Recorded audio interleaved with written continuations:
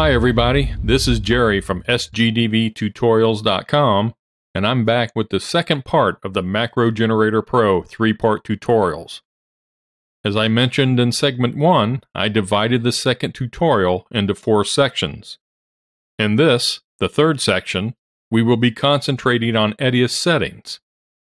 I'll show you how to create macros from keyboard shortcuts, and we'll go over the EDIUS settings backup and restore operation.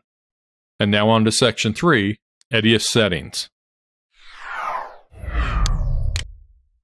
This section will range from making macros directly from shortcut keys to restoring all EDIUS settings data from a created backup. ID keys are what allows Macro Generator to work with EDIUS, and the list gives us access to those keys. Using this list, you can select unassigned ID keys and assign them keyboard shortcuts. The example I'm going to use will create a macro from an unassigned EDIUS function. This function, which is only available with EDIUS 8 workgroup, will lower my preview resolution from 10-bit to full 8-bit. First, let's select the ID key. Under search name, type in full 8-bit. The preview quality full 8-bit option will appear. Notice the assign tick box is unchecked. At the bottom of the panel, click the Find button. Macro Generator will go to the EDIUS User Keyboard Shortcut Setting panel with the full 8-bit function selected. It will say No Assignment.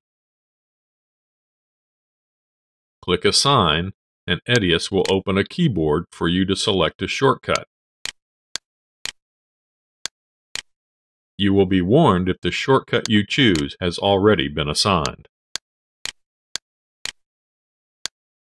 After getting the correct shortcut, press Apply and then OK. Both the keyboard shortcut and keyboard panels will close. On the Work panel, click the Refresh ID Keys button to update the list. Close this list and right-click in an open space on the main GUI. Choose Create New Macro with Wizard, and when the selection panel opens, navigate to the left column. Double-click the ID key entry, and when the Select ID key panel reopens, click the Preview Quality Full 8-bit option. Now click the Select button at the bottom of the panel. The Preview panel for the macro will open. Notice that the Select ID key does have the correct function listed. Click Save and then Apply, and the macro will be complete. Go ahead and run the macro to change the preview resolution.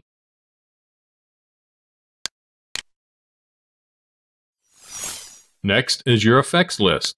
This list will provide you with access and information about your transitions, filters, titles, keyers, and layouts that you have installed in EDIUS. You can use settings to select, deselect,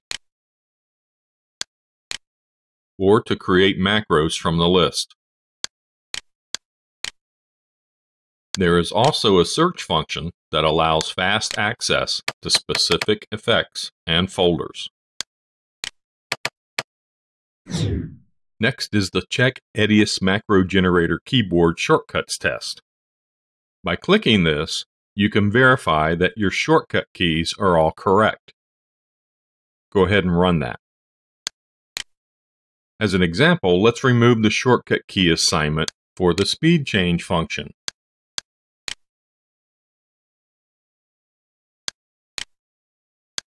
Run the test again.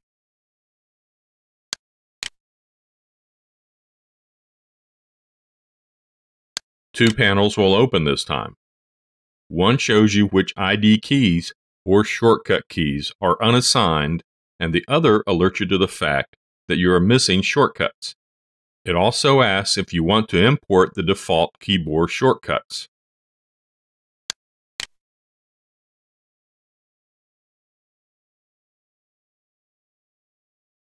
One word of warning here.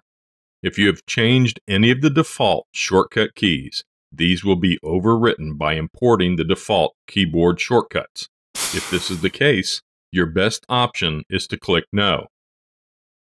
Then on the ID key missing panel, click the Assign button to open the specific shortcut key that is unassigned.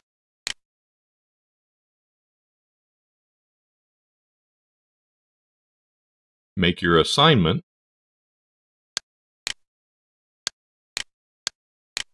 click Apply, and then OK.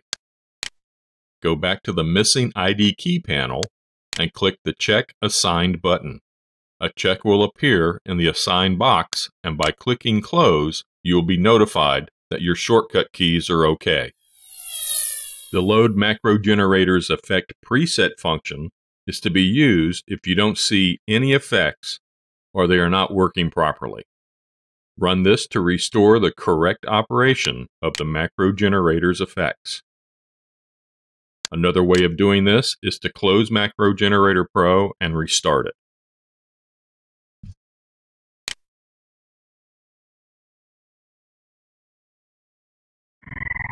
And now we come to the backup and restore option. This is one of my favorite features of Macro Generator Pro. These are options for backup and restoration of all EDIUS settings data. The restore has to be performed on the same version of EDIUS as the saved backup. Simply stated, you can't run an EDIUS 6 backup on an EDIUS 8 install. If you have several third-party plugins installed at the time of the backup, it is to your advantage to have those same third party plugins installed prior to running the restoration process. I can't stress this point enough. This is a data only backup. This will not back up your media asset files. The data backup includes all items from the settings header dropdown. System settings, user settings, project settings, effect palette settings, export settings, EDIUS keyboard settings, layout of EDIUS and GUI settings, and the project recent list. Before exporting, verify the destination path of your EDIUS backup. You can do this by going to Global Settings and looking at your path selections.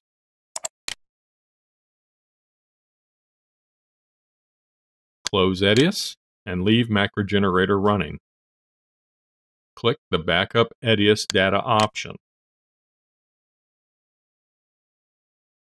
You will be reminded to close EDIUS. To proceed, click OK. Name your backup and click Apply.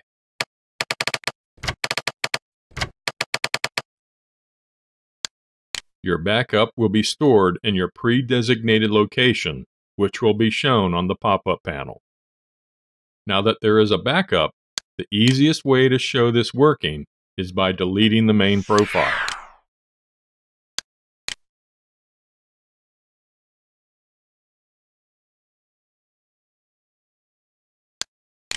With the main profile removed, close EDIUS and then run the restore option. Navigate to the backup stored location and select the backup.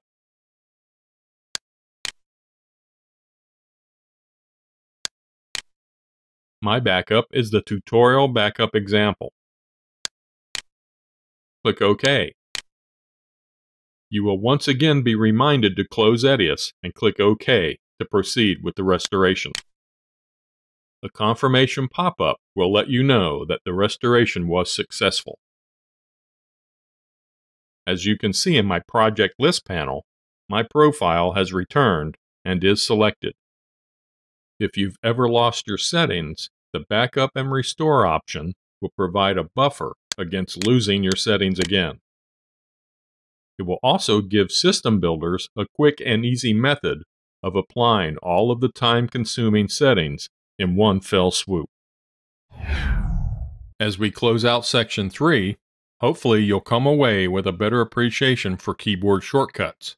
But the big feature in this section is the backup and restore function. The fourth and final section will cover workspace settings through the storyboard function. I'll also show a quick and easy way to get Edius chapter markers into Encore.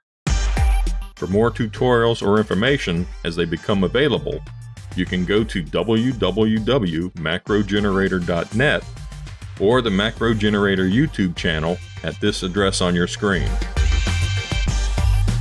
Thanks for watching, and make sure to check the links for new material.